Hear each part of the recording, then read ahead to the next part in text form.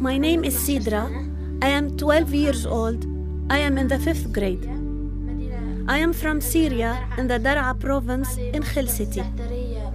I have lived here in the Zaatari camp in Jordan for the last year and a half. I have a big family, three brothers. One is a baby. He cries a lot. I asked my father if I cried when I was a baby, and he says I did not. I think I was a stronger baby than my brother.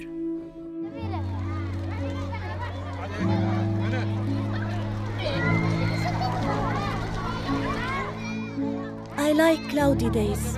I feel like I am under a cover, like a blanket.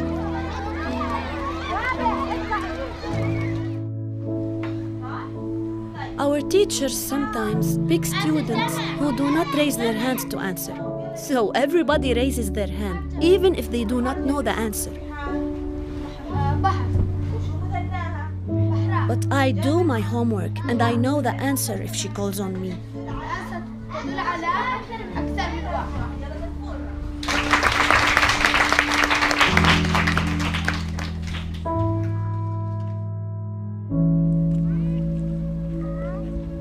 Some kids don't go to school.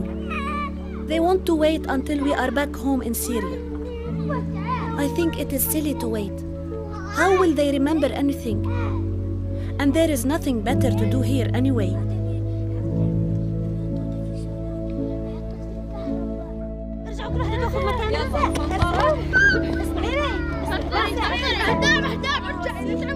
We have to play football quickly because there are so many kids waiting to play. Especially now. Unlike home, here in Zaatari, girls can play football too. That makes us happy.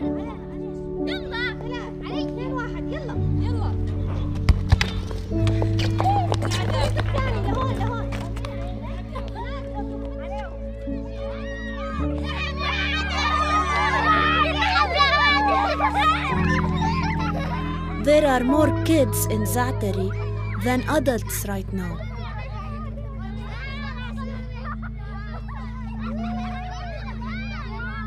Sometimes I think we are the ones in charge.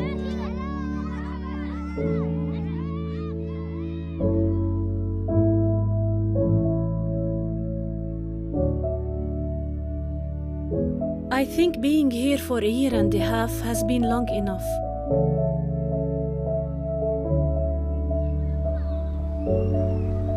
I will not be 12 forever.